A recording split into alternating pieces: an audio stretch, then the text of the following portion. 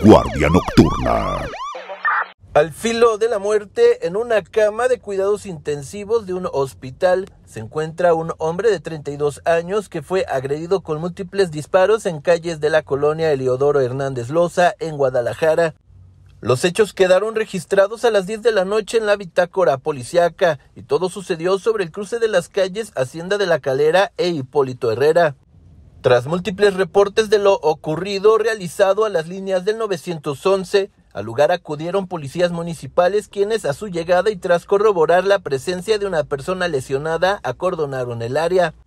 Minutos después acudieron paramédicos municipales quienes en el lugar de los hechos estabilizaron a la víctima del ataque y lo trasladaron directamente a sala de urgencias del hospital más cercano en condición de salud crítica. En la escena se localizaron regados en el piso tres casquillos percutidos del calibre 9 milímetros, mismos que corresponden a la cantidad de impactos que recibió esta persona en el abdomen y cuello.